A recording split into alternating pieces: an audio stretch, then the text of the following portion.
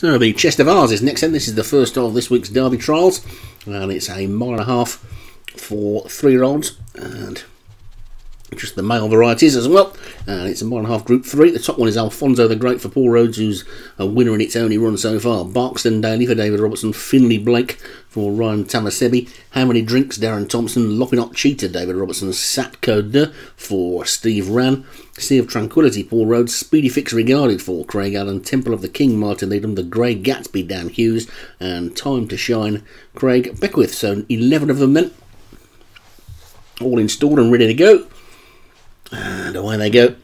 And a little bit slow to go was how many drinks, but nothing too serious. They're sorted themselves out now. Then getting to the rail is Alfonso the Great, the unbeaten favourite in front. Then so Alfonso the Great just about in front, but now being pressed by Loppinot Cheetah, and Loppinot Cheetah is going to go on from Sea of Tranquility on the outside. That's the stable companion to the one on the inside, Alfonso the Great. Bit of a gap then back to Speedy Fix Regarded, and how many drinks is coming through there from that slow start into fourth place. On the inside of that one is Barkston Daly. Then comes the Grey Satko De, and after that one is Time to Shine, the Grey Gatsby, and finally Temple of the King.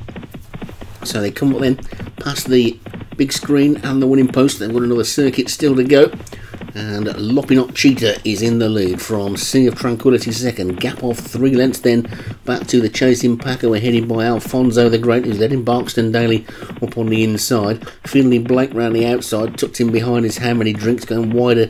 Still on the track is Speedy Fix regarded. The grey Satko has just been trapped in there by Time to Shine and Temple of the King and the Grey Gatsby are struggling to go the pace. But Loppinot Cheetah and Sea of Tranquility are blazing the trail. Are they pacemakers for the two stable companions chasing because it's Robertson and Rhodes being chased by Robertson and Rhodes as they make their way through to the final five and a half furlongs and Loppinot Cheetahs in the lead from Sea of Tranquility in second. Then comes Barkston Dale and Alfonso the Great. Speedy Fix regarded those three are beginning to close. Still going well is Finley Blake. That was no tucked back in on the inside. Time to shine. He's trying to get into it. So too's how many drinks, but it's Loppinot Cheetah who's clearing these. Seems to have beaten off Sea of Tranquility now. Speedy Fix regarded comes through the challenge.